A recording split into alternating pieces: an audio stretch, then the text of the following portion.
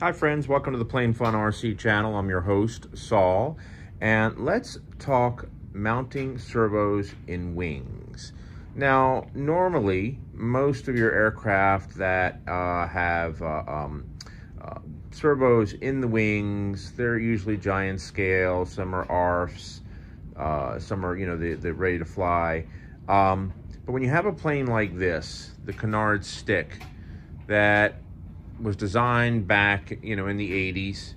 Um, direct drive servo really wasn't a thing. The way you would drive the ailerons is you would have a push rod that would sit in the fuselage and it would drive the ailerons. And the ailerons are going to sit back here.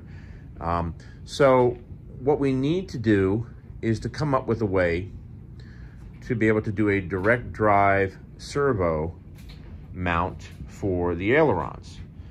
Now, there's a, you can do something from scratch, and that works great. I picked up two different tray um, kits, if you will. One is from Balsa USA. They sell a flush mount servo tray kit. You can visit them at balsausa.com.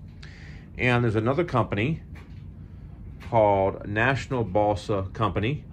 And you can visit them uh, if you do a Google search for National Balsa Company. They're still in business, and they have a servo hatch uh, set that you can see here. Um, and it includes the actual, um, the doors, and it includes a mounting plate as well, also laser cut. And uh, you can see it here.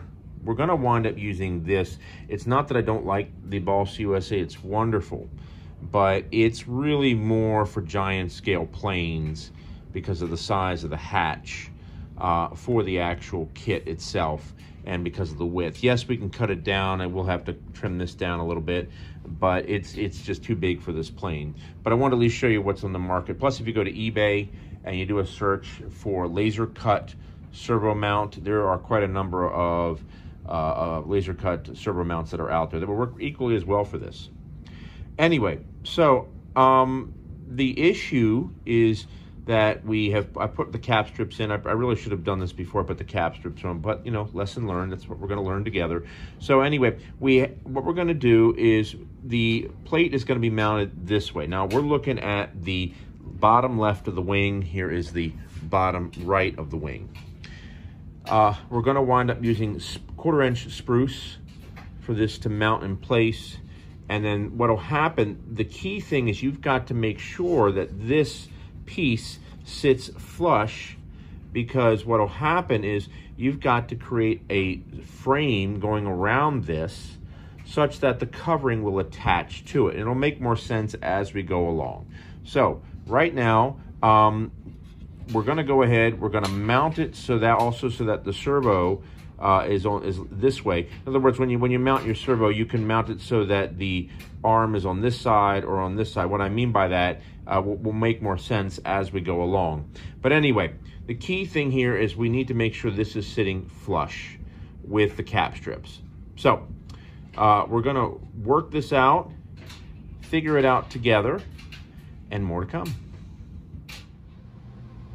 All right, friends, as we continue our update here on the Aileron servo installation for the St. Croix Models Canard stick, let's talk about what we have going on here. So after spending most of the day trying to figure out the best way to add, put on those servo doors, as I mentioned just a second ago, I realized that it is just much easier to just put two pieces of wood like this. Then we'll build a little frame going around here so the uh, uh, UltraCote has something to attach to, and that's it. It is just much simpler. This is a very low profile servo, as you can see. I'm gonna tip it down, very low profile. So therefore, you, you can see how it's there's not going to be a lot of drag involved or any major disruption of uh, the aerodynamics of the uh, of the wing itself.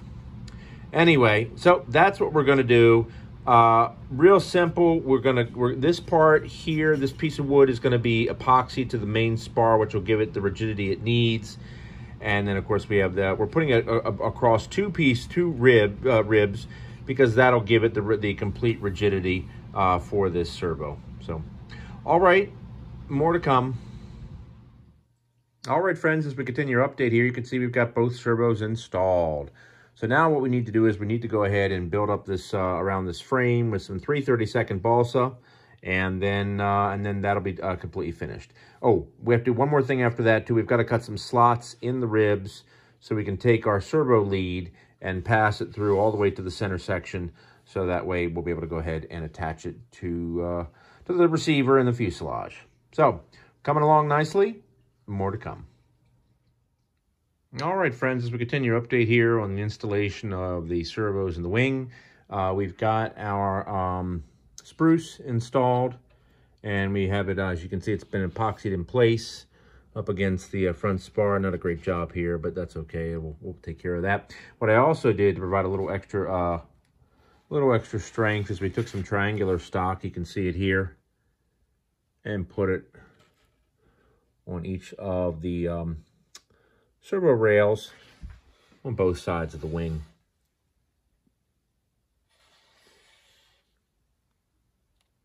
All right, so now that that's done, let's go ahead and we're going to start the process of laying in some uh, 132nd balsa should do the trick so we can build this up around the uh, around the servo so we've got uh, a spot for the covering to attach to.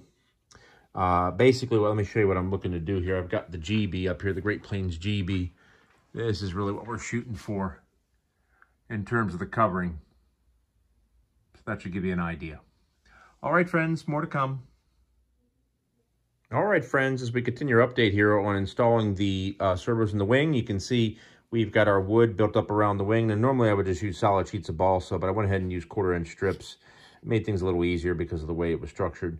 Um, after going ahead and putting those on, then we went ahead and put some holes in the side of the wing here, or the, or the uh, rib, and then went ahead and put two holes in the um, top of the wing, which is what we're looking at right here. And uh, so it's done as far as installing the servos are concerned. Now we're going to go ahead and move on to covering the wing. All right, friends, more to come.